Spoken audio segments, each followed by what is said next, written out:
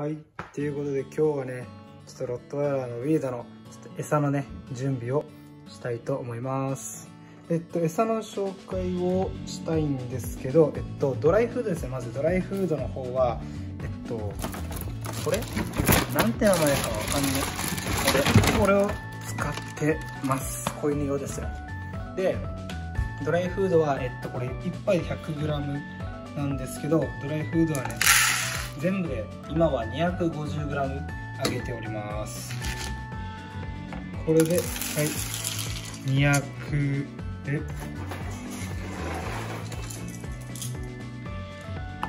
これでまあ250ですね。250揚げてでトッピングの方は、えっと、最近はですねもともと自分がそのあきるのチャンネルさんっていう YouTuber の多頭飼いの YouTuber の方がいるんですけどその人たちが、えっと、牛脂を使っててまあ肉の牛の肉とも一緒なんですけど自分もそれを見て最近は牛脂をトッピングしてえっとねあとはきな粉ですよね。きな粉も最近はトッピングをしてます。でここからこうドライフードにえきな粉と牛脂を溶かして入れていきます。では無事溶け牛脂がね溶け終わりましたので今からねえっと言い忘れてたんですけどえっとこれ今日はえっと飲みダニフェラリアの薬も食べさせないといけないのでクッキータイプですね。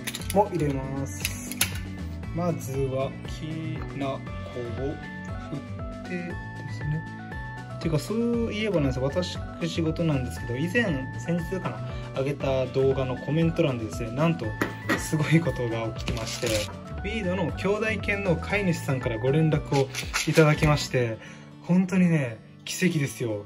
自分住んでるの沖縄県なんですけど結構こんなね離れたところでねまたつながることができるなんて本当に奇跡ですよね。すごかったです本当に。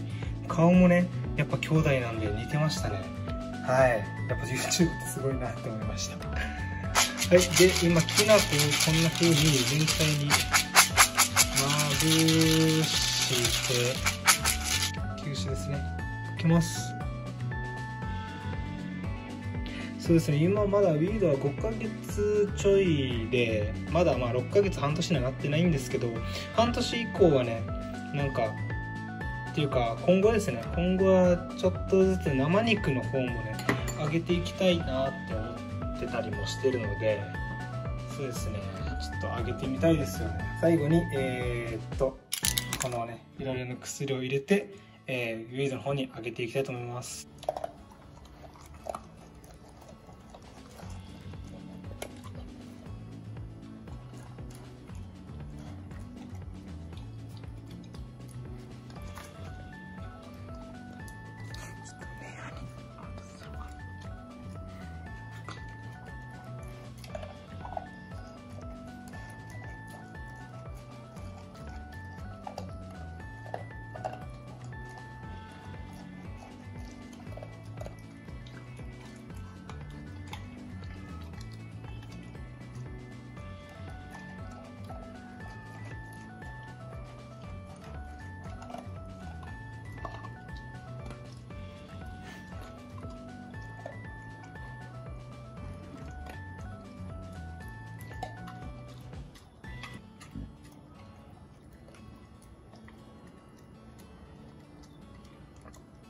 こんな感じです。はい。